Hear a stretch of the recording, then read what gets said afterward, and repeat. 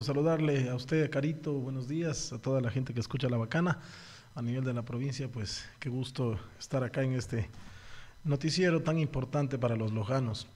Eh, nosotros justamente la semana pasada hicimos una carta preguntándole al alcalde o fiscalizándole en este caso eh, cuál es la función de unos jóvenes que están de rojo por ahí, tal vez atendiéndolos, haciendo de tipo protocolo de lo que nos han contado, ¿no? Son, bomberos.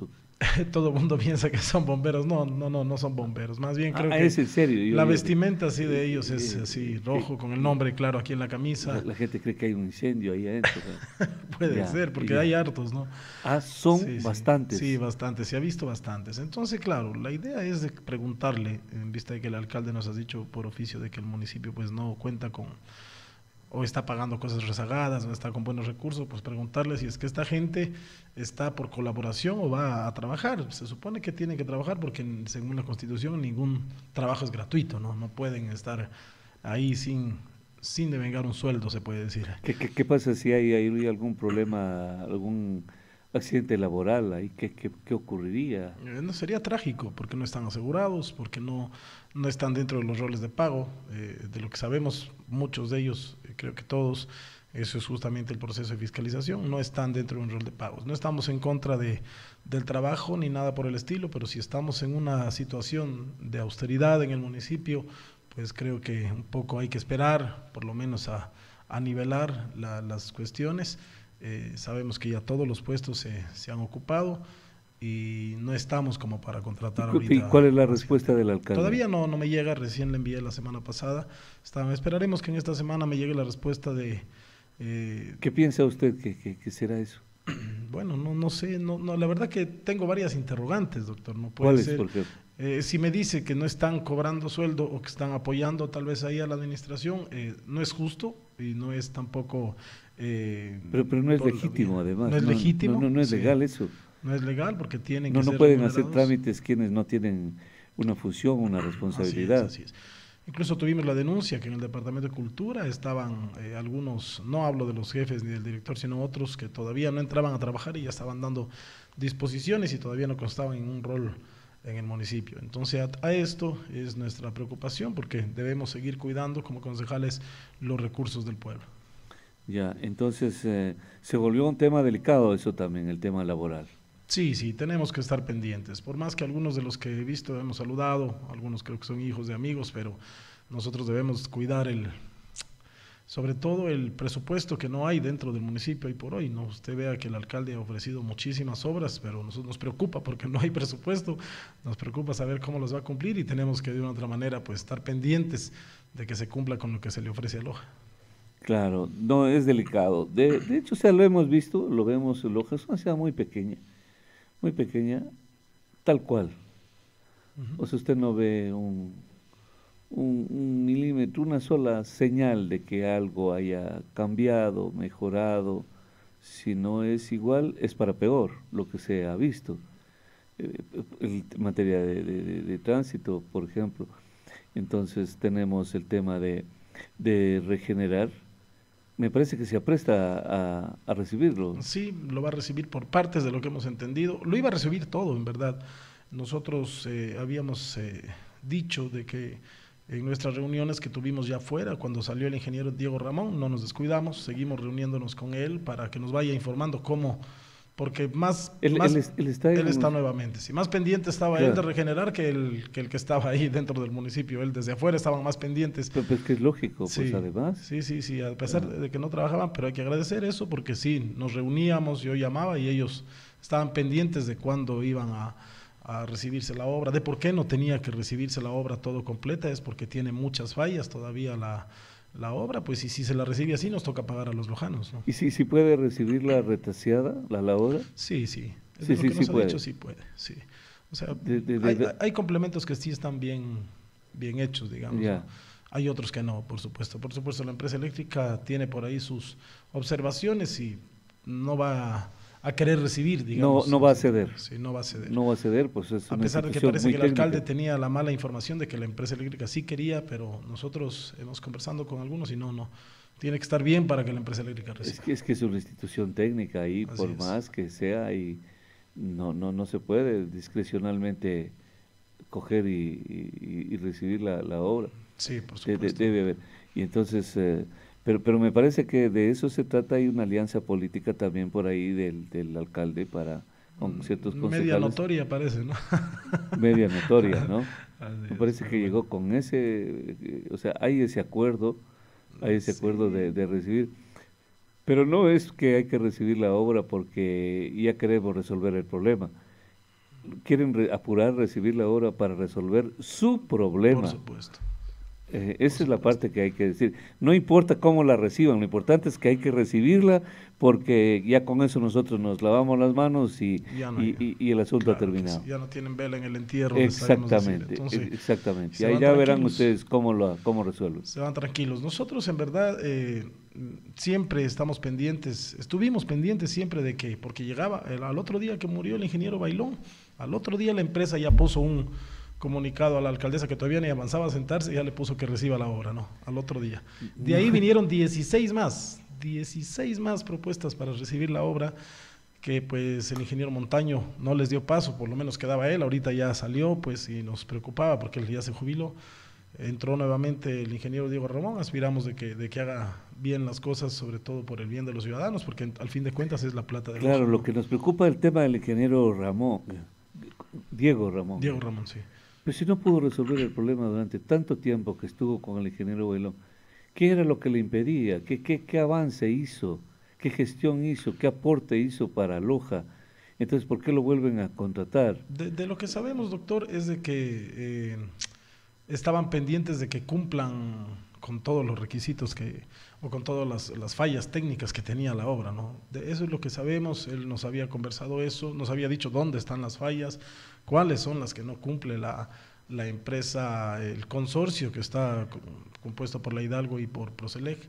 Él nos había eh, comentado de todo lo que no cumple y por qué no tenía que recibirse la obra enteramente como la pensaban hacer. Ahora, no sé si de eso depende que, que porque no se recibe la obra no hay un semáforo como el accidente que ocurrió en la Juan José Peña y José Antonio de Guiguren, de proporciones, ¿no? Eh, pero no hay un semáforo en esta ciudad. Y, el, y regenerar se supone que venía armado y equipado para, para poner esos semáforos inteligentes ahí, todos. No hay ni tontos ni inteligentes, de hecho no hay nada ahí.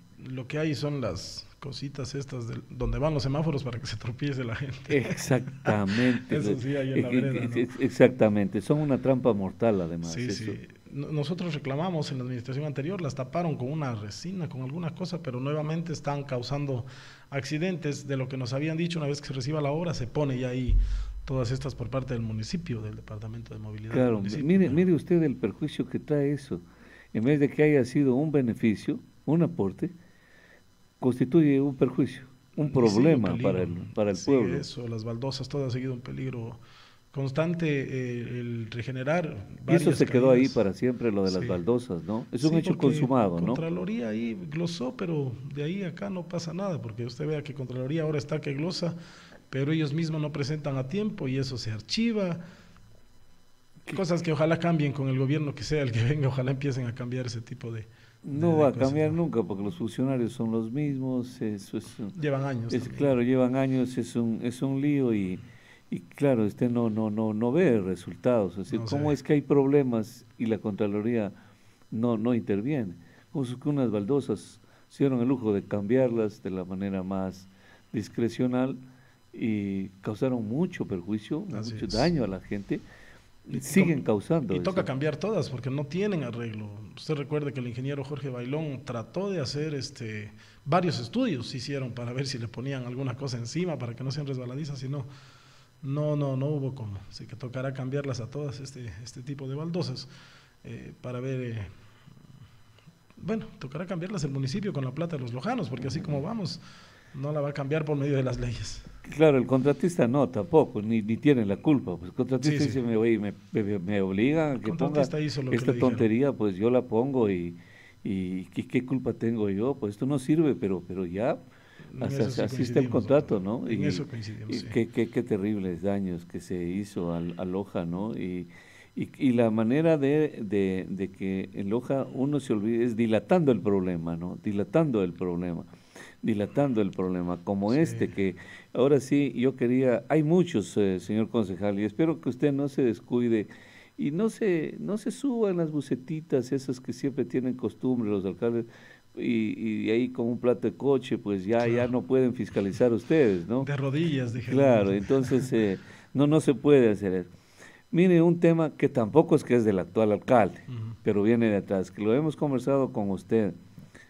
Porque yo, yo sí quisiera que alguien me ayude a buscar algún otro uh, forma, otra palabra, un eufemismo nuevo, alguna cosa. Pero lo de los, las multas del CIMER es un latrocinio.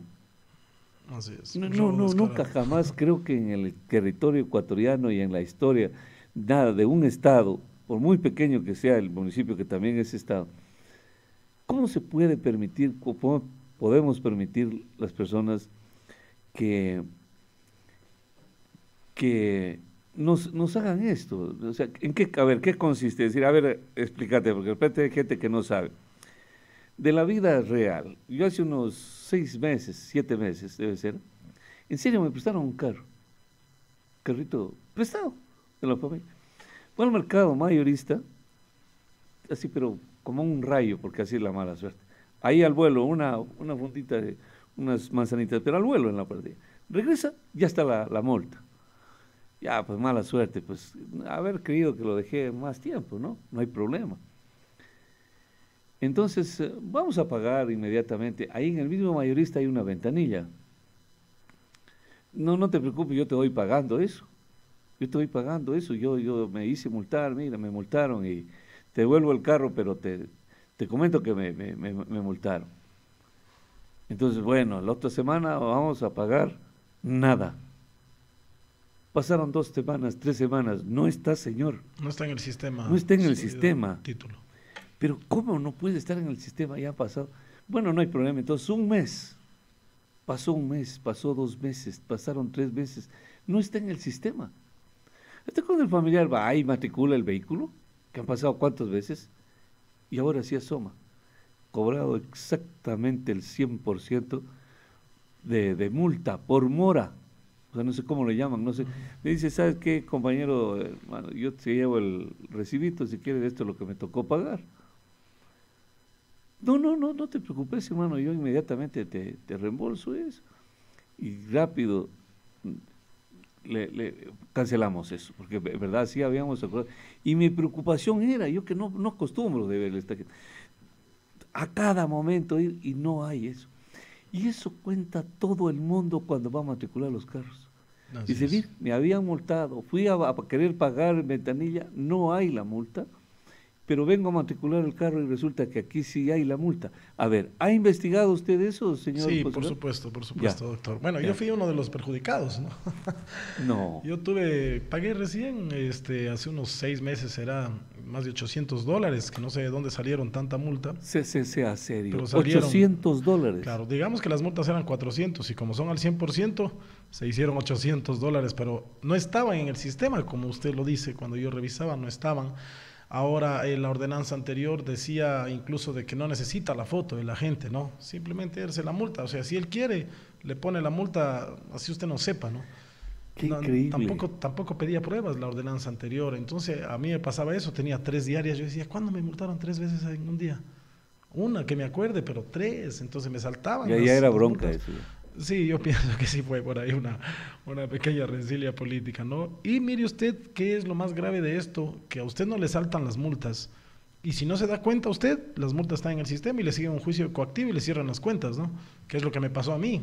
No le puedo yo, creer. Cuando me di a ese cuenta, nivel no había llegado. Claro, yo me di cuenta, estaban cerradas las cuentas, entonces fui O sea que este familiar que prestó el carro podía haberse metido, haberlo metido yo en Por un supuesto, lío si la coactiva grave. un dólar le cierran la cuenta, sí y acá es al 100%. ¿Qué, dice la orden, ¿Qué decía la ordenanza este, doctor? La ordenanza decía de que usted tiene cinco días para acercarse a pagar, después de esos cinco días le iban subiendo diariamente el 10%, ¿no? Quiere decir que en 10 días la multa ya estaba al doble.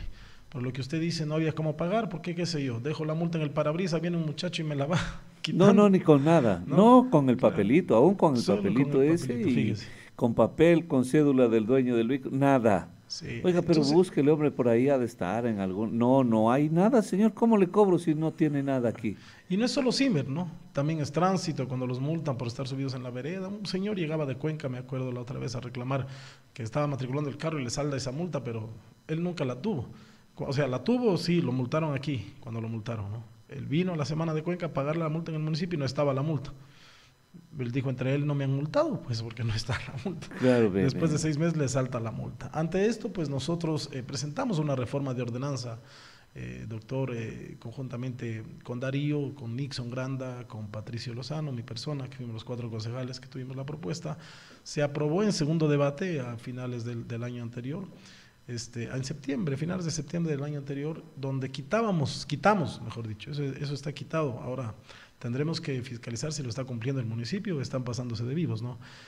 En donde la multa ya va de acuerdo a lo que dice el Banco Central, ¿no? O sea, del Banco del Estado, perdón, el, porcentaje de la multa ya no va al 100%, ¿no? Sino de acuerdo a los intereses que en verdad están en la ley, porque esto era una ilegalidad que la hizo el alcalde. Era discrecional.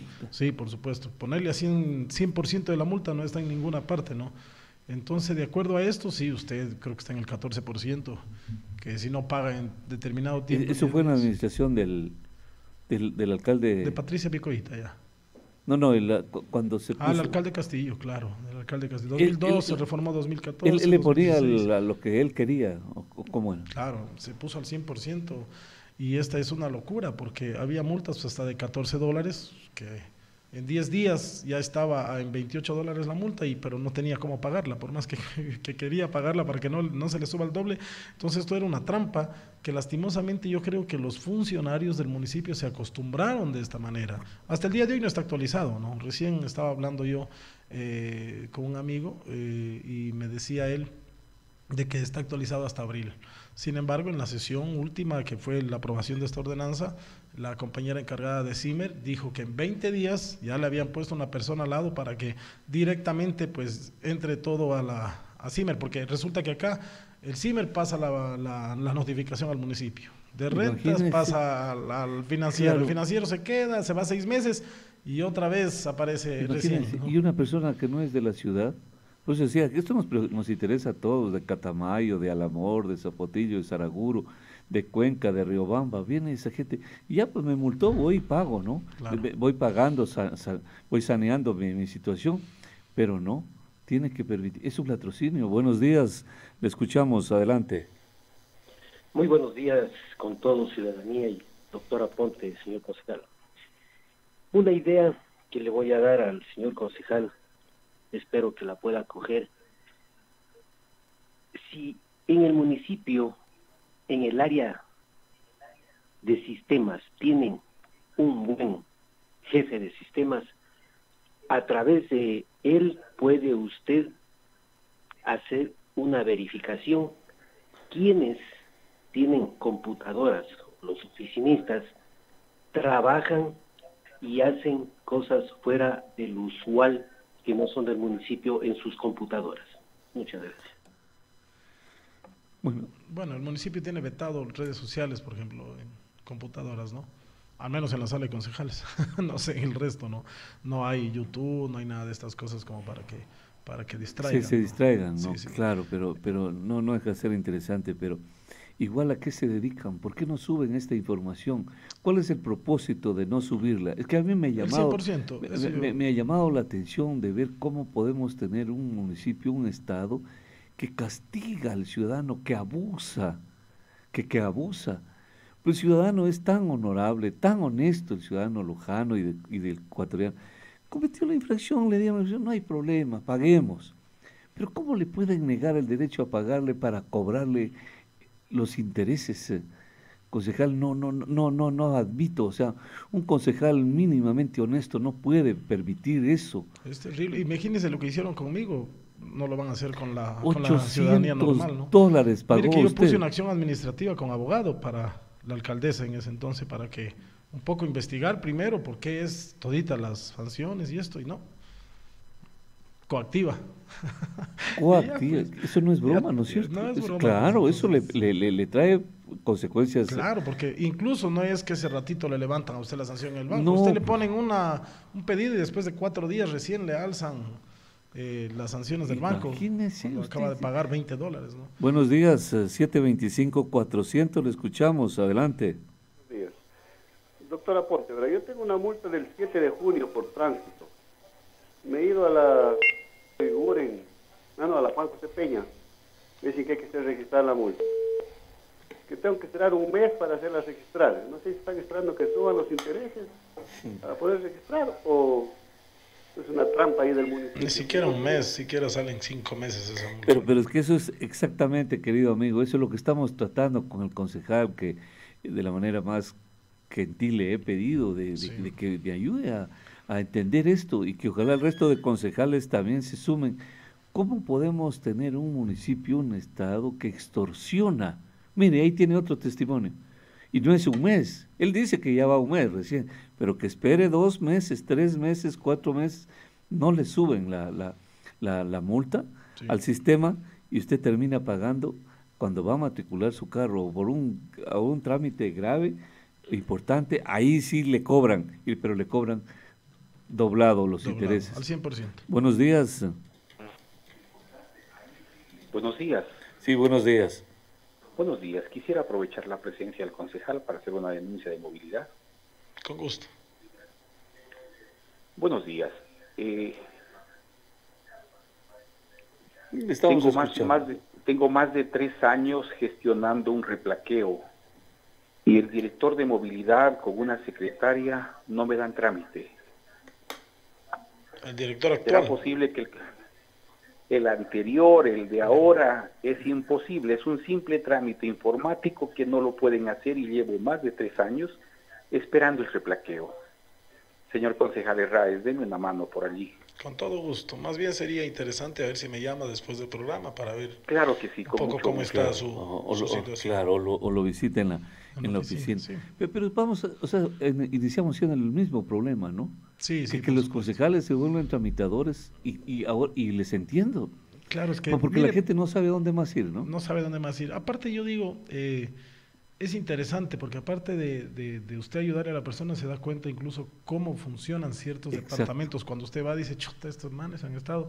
Yo hablaba recién con el compañero Severino, ¿no? Le decía que qué pasa con estas multas que no se suben al sistema. Él me había dicho eh, de que ya tiene, ha puesto dos personas para que vayan subiendo estas multas, porque eso es lo que no había, ¿no? El departamento de Simber no tenía nada de eso, tenía que esperar que vengan mil empleados y no tienen un empleado para que suban que sube una multa. Eh, pero le denuncian que tiene siete agentes al lado de su oficina que, que parece este Maomar Gaddafi con, con un ejército de guardaespaldas ahí.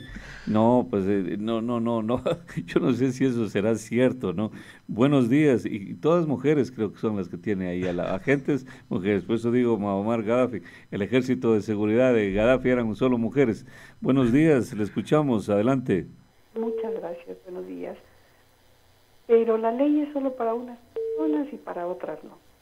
Eh, aquí en la urbanización Fabiola, la vuelta del mercado, hay una empresa, eh, una industria, una industria pues, tiene el canchón sin cumplir ninguna de las ordenanzas, vienen los trailers que es prohibido que entren a esta zona, nos hacen leña, el asfalto, pusieron CIMER solo para que la empresa trabaje y tenga facilidad para entrar los trailers con los productos, descargan, tiran las planchas de acero de la plataforma al suelo, microsismas todo el día, una bulla terrible y no hay quien diga nada.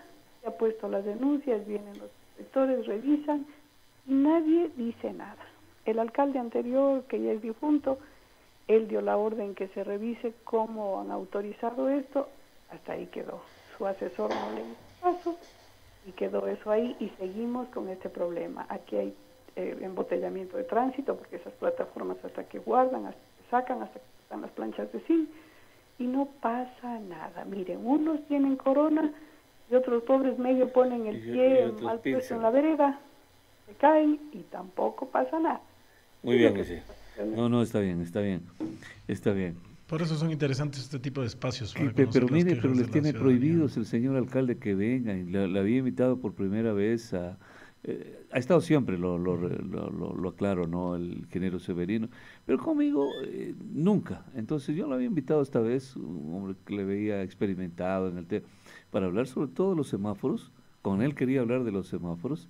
Si hay alguna esperanza de que vayan a poner o no, qué debemos hacer, dónde está la plata de ¿Dónde está la plata de que, que, pagamos en las multas de la Agencia Nacional de Tránsito? ¿Qué pasa con eso? Entonces, eh, pero no, desgraciadamente les ha prohibido y entonces nos tenemos que quedar aquí con los concejales que, que, que también pues, son parte del pueblo, ¿no? Entonces, eh, de, de, hecho, no, no hay ningún problema. Buenos días, le escuchamos, adelante. Bueno, ahí se, se retiró. Reitere su llamada, por favor, reitere su llamada. Concejal, Vamos a, voy a leer la cantidad de mensajes también. Buenos días, 725-400, le escuchamos. Adelante. Sí, buenos días, doctor, Santiago. Eh, permítame hacer una denuncia que creo que es un poco grave. Eh, una vez un puesto de taxi, a mí me tocó pagar tres mil dólares en el municipio por el cambio de software tengo entendido que son 456 compañeros que a lo mejor, no sé si la mitad siquiera que hayan hecho el cambio de, de. Haga la cuenta, mi señor doctor, multiplique por 3 mil dólares. Ya estamos hablando de millones de dólares. Entonces, no sé ese dinero, en qué se invierte o qué se hace con ese dinero. Eso es Muy bien, muchas gracias a usted. Bueno, lastimosamente hay una caja común. pero, es una mina de plata el municipio, ¿no? Eso es una mina que, le, que al ciudadano le sacan de todo. Solo pensar que usted pagó 800 dólares. El señor paga tres mil y pico de, dólares. Otros ciudadanos que, pagamos de cientos de dólares, porque una multa de, de 10 dólares se vuelve cientos. ¿Cómo puede ser eso un municipio amigable? No, para nada, más bien todo lo contrario. ¿no? En el mismo CIMER, mire usted, bueno, ahora en la reforma de la ordenanza por lo menos ya se puso de que si se pasan lo que marca en la tarjeta, esperen 15 minutos, porque antes apenas se pasaba un minuto, ¡pah! le caía la multa, ¿no? Ahora tienen que esperar, tiene que saber la ciudadanía esto. eso es un desorden, porque usted puede estar horas que no hay ningún agente. Y no hay agentes, sí. No hay, no hay nadie de agentes del CIMER, no hay nadie, no le llegan. Pero de repente... Y lo que recauda el CIMER, mire, a ver, yo estaba estudiando, el CIMER recauda más o menos entre ventas de tarjetas, no, más o menos, y las multas que cobra, que no están todas las del 50%, sino solo multas normales, más o menos está recaudando casi 700 mil dólares. Pero en cambio se gasta mm, casi 900 mil. En personal. En personal, en pintar, en carros. Entonces es más el gasto que lo que... Y, encima que hubo una denuncia de que falsificaban tarjetas. Sí, sí, está esa denuncia en fiscalía, si no me equivoco, puesta por el primer alcalde, porque fue en el 2019 esa denuncia de la falsificación de tarjetas, ¿no? Incluso, incluso ahora justamente estamos reclamando, mire usted que las señoras que no pueden caminar, se cayó una señora aquí en la esquina hace cuatro días, porque le toca venir de su kiosquito con sus bastones, como no puede caminar, viene a retirar 50 tarjetas porque no le dan más, y a mí me parece una locura, si mientras más vendemos es mejor, se supone, ¿no? Pero a la pobre señora le dan 50 tarjetas, pero no, no son capaces, son gente con discapacidad. Los que venden las tarjetas son gente con discapacidad. Debería tener el municipio una persona que vaya y les entregue en el kiosco que recorra, que recorra para que vendan. Qué, tristeza. Todo es un desorden. En ¿Cómo la hicieron caer? La señora se cayó acá con unos compañeros ahí. Bueno, la levantamos, la subimos en un carrito y y me daba pena porque la señora dice, se puso a llorar por 50 tarjetas, que ganan el 15% de cada tarjeta. ¿Cuánto es 15% de 50 dólares? 15 centavos por tarjeta. imagínese. Y todo lo que tiene que venir y pasar, entonces son cosas que en verdad, ojalá esta administración empiece a, a cambiar y empiece a ser funcionar en verdad como un municipio de servicio, ¿no? No, pues, pero si, si tiene más gente ahí vestidos de rojo, no Ya, ya, ya, es una mala señal, porque estamos hablando de que hay un exceso de personal, de, de, recursos, y llega y mete más gente de la manera más ilegal, porque no tienen un estatus legal ahí. ¿Cómo, ¿Cómo, responde la institución al Estado, el, ciudadano? ¿Cómo es? Estas personas mañana adquieren derechos mañana adquieren derechos, demandará al municipio. Tranquilamente. Y tienen todo el derecho porque están cumpliendo el trabajo. Están trabajando. Qué, increíble. Fíjense, todo esto hay que ir anotando. Solo vayan ustedes anotando. vayan llenándose de, de, de, justicia. Estamos a la respuesta. Igual fiscalizamos de dónde salió el dinero del primer día que hizo el alcalde, pues toda esta. No, las bandas. ¿Usted no, no, no, no, no tuvo respuesta? Mm, sí, sí tuve respuesta. ¿Qué, ¿Qué, le dijo? Del bolsillo de él, es lo que dice la respuesta. Dice que del bolsillo de él. Muy bien. Muy bien. Y ya, entonces hay que ver la factura, dónde está, a quién le pagó, todo eso, las, las bandas. Debería habernos enviado todo eso. Claro, la, claro, pero, bueno. En todo caso, nuestro trabajo es fiscalizar. Buen error en todo caso el suyo, el que cometió ya. Pues, hay que aprender, cada día se aprende, ¿no? No, no se puede eh, poner eso. Porque hay algunos que ni el terno, no, no, no, no, no lo pagado con, con su con su peculio ¿no? Entonces hay que tener mucho cuidado eso y, nada de, hacer aspaviento porque de nuestra parte pues en todo lado tenemos cámaras con, con, micrófonos que nos están comentando cada cosa que se hace. Entonces, eh, eh, lo que intentamos hacer es esto. La señora alcaldesa cogió sus cuatro maletas y se marchó, o se fue, o qué pasó? ¿Sabe usted algo de, ella? Sí, sí, ¿Ha chateado? Han, conversado? No, no, lastimosamente con ella perdimos comunicación desde el momento que empezó a hacer mal las cosas, porque teníamos muy buena relación, pero desde el momento que empezó a hacer mal las cosas, lastimosamente pues cambiaron eh, los escenarios, porque nos tocó fiscalizar y tal vez eso les molestó un poco.